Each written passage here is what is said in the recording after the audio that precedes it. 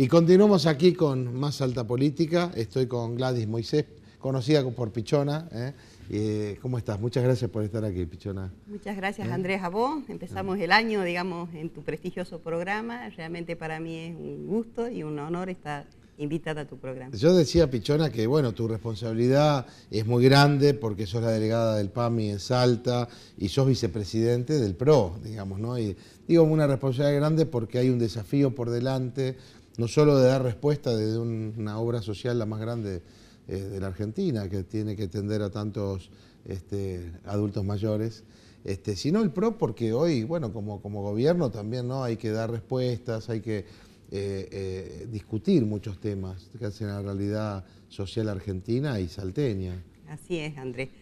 Bueno, la verdad que la responsabilidad este, en el PAMI la tratamos de honrar todos los días eh, tenemos una gestión totalmente orientada mm. a favor del afiliado, lo cual este, yo tengo muestras, eh, a veces voy por la calle y me para la gente para agradecerme una mejor atención, para otras veces me dicen hace tres años que no nos podíamos operar y estamos buscando, pese a las dificultades, caso por caso, irlos este, solucionando. Hemos trabajado durante meses y ahora a partir del primero de abril tendremos dos clínicas prestadoras de Salta este, ah, que, tienen muy buena calidad prestacional.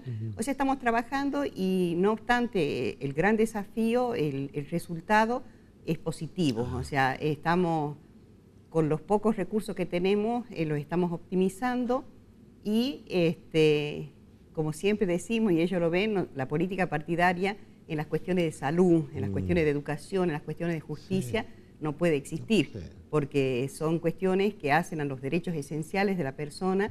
Entonces, o sea, la política es la gestión.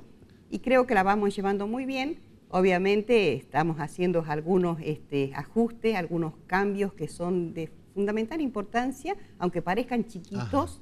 Por ejemplo, en lo edilicio, de buscarle al afiliado que tenga un lugar donde esté cómodo, donde esté sentado, son cosas que hasta me, me da vergüenza eh, tener que decir que estamos trabajando para algo que es básico. Que es básico. realmente, y, créanme que esto no tiene ningún mérito, porque es lo que hay que hacer, o sea, no es este. Pero eh, en esta situación donde a los argentinos y a los salteños nos falta empatía, yo creo que se, se, produce un hecho que tendría que ser natural como excepcional, dado el individualismo y el egoísmo que está, digamos, latente en muchas de las instituciones, este, sobre todo en las instituciones del Estado, ¿no?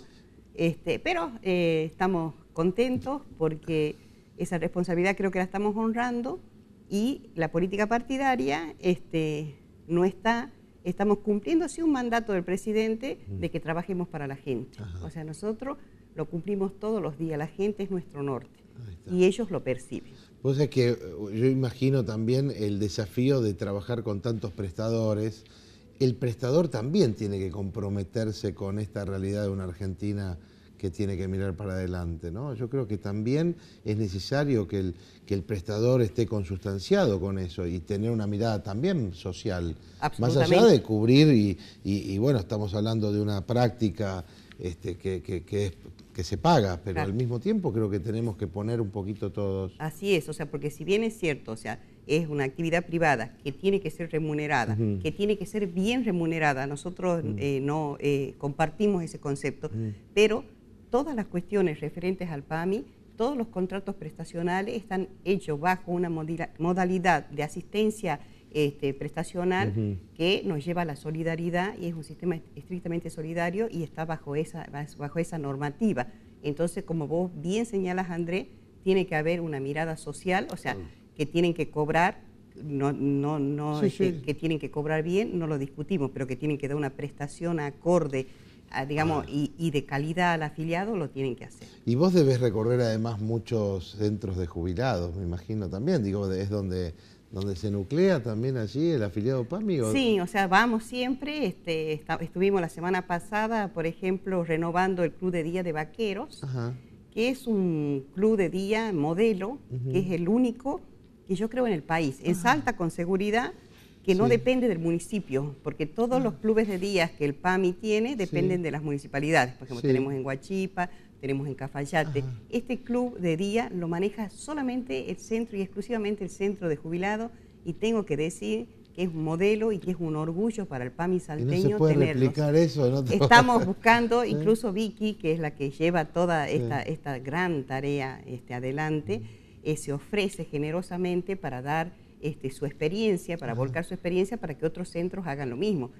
Ahí uno va y tiene realmente, son caricias para el alma, ver cómo los afiliados están bien, están contenidos, incluso hablando con el intendente Moreno de ahí, me contaba que habían dos casos que eran para psiquiátrico, pero estaban tan bien contenidos ahí que, lo, se tenían ahí. bueno, hacen de todo, teatro, baile, o sea, es realmente una vida muy rica, tienen una sala de computación digna de, una sala de jóvenes y donde aprenden con, este, con computación, la verdad que son, y tenemos otros centros de jubilados, hemos estado, por ejemplo, con los abuelos, el centro de abuelos, que tienen el papel nono, también otra cosa realmente. ¿Así se llama papel, nono? Hacen todos los instrumentos de papel, es el único, este está en el país, pero ellos este, son los únicos en Salta. Ahora el viernes nos vamos este, al carnaval en, acá en el interior, en el Valle, donde este, siempre, en la caldera creo que, donde son fiestas donde vienen más de 1.500 afiliados de todos los centros de, los lugares aledaños. Qué lindo eso. No, hermoso, hermoso. Aprovecho, eh, Pichona, para saludar a nuestro amigo Nicolás O'Brien, eh, que se está recuperando de una operación, a veces mira el programa, y, él es aquel que lleva adelante siempre esa gran campaña eh, de de lo que es la campaña del buen trato al, adulto mayor. Así que mirá qué lindo para poder combinar, ¿no? Con lo que hace Nicolás. El año, el año pasado estaba invitado, o sea, yo a Nicolás, además de mandarle un cariño enorme, yo le tengo un agradecimiento, que cada vez que puedo lo hago público, porque cuando yo he llegado, la generosidad que ha tenido conmigo realmente es impagable y compartimos, como él dice, tenemos los mismos clientes, o sea, tenemos las mismas, este,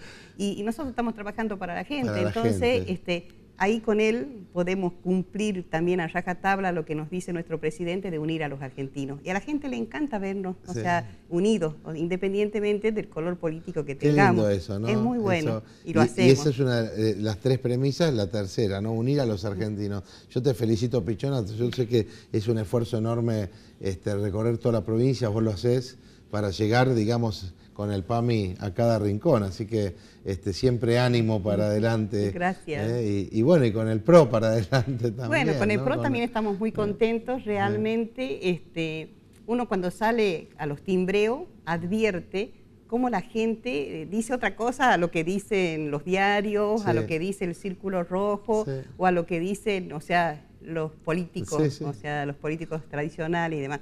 La gente quiere otra cosa, o sea, la gente está acompañando el cambio, la gente está viendo el esfuerzo, está viendo la transparencia, está viendo, nosotros el último timbreo detectamos tres problemas. Mm.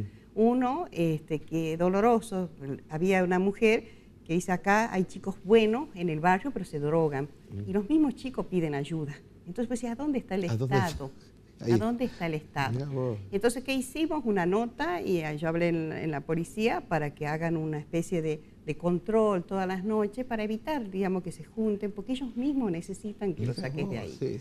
Y bueno, después también el tema de infraestructura, que se va este, casa por casa para ver que este, con nuestro común amigo Roberto Ulloa, con el ah, Plan Belgrano, para ver de hacer estos módulos por medio de hábitat de los baños. Qué importante eso, sí. Ojalá que llegue y pronto. Y después me ha tocado a mí, en el, en el, este, en el timbreo, encontrarme con cuatro afiliados, tres, gracias a Dios, estaban muy bien, y una afiliada tenía un hijo con discapacidad que le estamos buscando un turno acá para que lo traiga. Así, que, vale la pena. Absolutamente, absolutamente. Muchas gracias, Pichona. A vos. ¿Eh? Nosotros vamos a la última pausa aquí en Alta Política porque no podíamos dejar de pasar por alto ¿eh? que ayer celebramos un nuevo, un nuevo 20 de febrero. Está aquí en el piso Martín Güemes ¿eh? para hablar de esa gesta tan importante.